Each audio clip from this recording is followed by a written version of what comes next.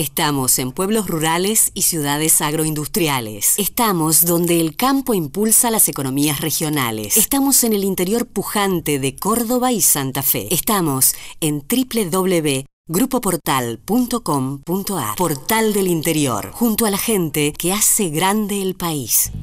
Segundo bloque de Mundo Agro. Días atrás productores, quinteros, eh, algunos viñateros de la zona de Colonia y Carolla concretaron un tractorazo en defensa de la fuente de agua en Colonia Carolla. El riego manejado por la municipalidad que podría llegar a verse afectado, según la opinión de los productores agropecuarios, a partir de la decisión oficial a través del Ministerio de Obras Públicas de concretar un acueducto que vaya con las reservas del río Carnero desde Colonia Carolla a Salsipuedes para nutrir a Sierras Chicas de agua en un momento de profunda sequía. Pero esto obviamente no es bien visto por los productores agropecuarios, algunos de muchísimos años que dicen haber colaborado a pico y pala para el famoso Canal San Carlos. Pero hoy por hoy la iniciativa eh, que plantea eh, el ámbito oficial, obviamente a ellos les genera preocupación. Y si no que lo digan Marcelino Crañolini y Nicolás Biel, dos productores de muchos años en Colonia Carolla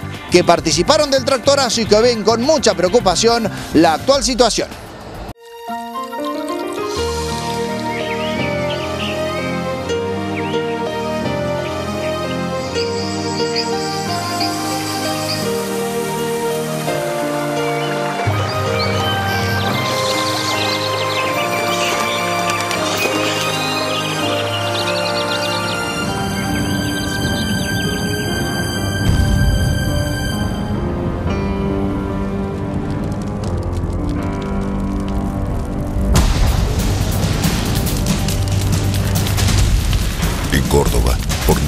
E intencionalidad, cada año se producen incendios forestales que provocan la muerte de nuestras valiosas especies. Respete la veda de quemas.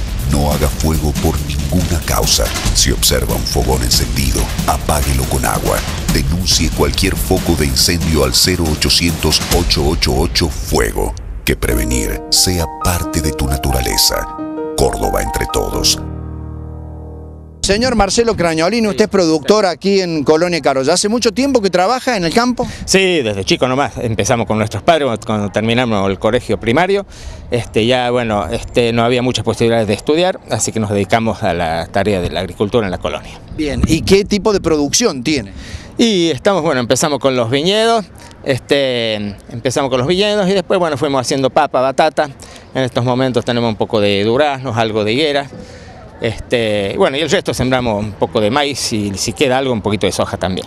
¿Todo el riego que tienen es del río Carnero? Sí, sí, o sea, el riego, bueno, vamos a aclarar que no es riego total, es parcial, ¿no es cierto? O sea, que cada, de acuerdo a las hectáreas tenemos la cantidad de horas de agua. De todas maneras, ustedes necesitan sí o sí de, ese afluente. Sí, por supuesto, por supuesto. Y más ahora con esta sequía, este, cuando más necesitamos el agua. Que debido a eso, bueno, está, está a la gran baja de las vertientes, este, es menos el caudal que tenemos de lo, de lo normal. Me dijo eh, riego por hora y parcial. ¿Esto qué significa? ¿Cuántas horas de agua tienen por día? Sea, este, cada 6 hectáreas nos dan 3 horas de agua.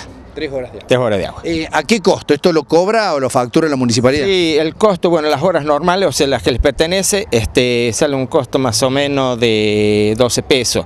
Después vienen las excedentes, o sea, si uno necesita y si hay agua, a lo mejor la municipalidad le puede proveer algunas horas de más, esa ya se va a 18, 20 pesos la hora. Eh, ahora, ¿la municipalidad la utiliza con un criterio de distribución equitativa entre todos los productores? Sí, sí, sí, sí, sí, sí no, en ese sentido la municipalidad está manejando muy bien los asuntos de la distribución de agua. ¿Y cómo ven este proyecto en donde se piensa hacer un acueducto que les lleve la fuente de agua que tienen solidariamente para la gente de Salsipueblo? Yo creo que puede, puede perjudicarnos mucho, ¿no es cierto? Porque más perforaciones se hace, yo creo que las vertientes van a bajar más. Este, excepto, excepto bueno, que vengan unas buenas lluvias, que mm, eh, surjan, ¿no es cierto?, que se levanten un poco las vertientes y en una de esas podemos solucionar un poco el problema. Ahora, claro, si no, mientras sean una o dos perforaciones, no, no, no creo que pueda perjudicar mucho, pero si, si seguimos así, que se hagan muchas más perforaciones, yo creo que vamos a sufrir las consecuencias más adelante. Eh, hay un cartel que encabeza esta marcha que dice, el agua no es negocio. ¿Ustedes creen que detrás de toda esta historia hay la especulación de algún sector o algún empresario que pretende hacer un negocio con esto? Yo creo que, no sé si, llama, si se puede llamar negocio, pero que hay algo detrás de esto, lo hay. ¿Usted cree que sí? Yo digo que sí como productor de tantos años y que puede llegar a ver afectada su producción, eh, ¿cómo ve la historia? ¿Lo siente como una injusticia? Sí, no, por supuesto. Este, lo, que más, lo que más nos duele acá que nuestros abuelos, el sacrificio que hicieron, este, mi padre también fue, y especialmente mi abuelo, el sacrificio que hicieron este, para hacer el canal San Carlos, que aquella vez no había mucha maquinaria, lo hicieron con caballo, pala de buey y, pala y balde, este, y que ahora bueno, venga con un poder este, y que nos saquen a la mejor el, agua, el agua que tenemos. Valle cercano, muy cerca del deporte, muy cerca del centro, muy cerca de tus posibilidades. www.vallecercano.com Valle Cercano muy cerca tuyo. Bueno, hasta allí el testimonio de los productores, un tema que no se agota porque está previsto que continúe el estudio y la factibilidad técnica para la concreción de este proyecto, mientras Colonia Carolla, en cuanto a sus productores, se siguen negando a tal concreción.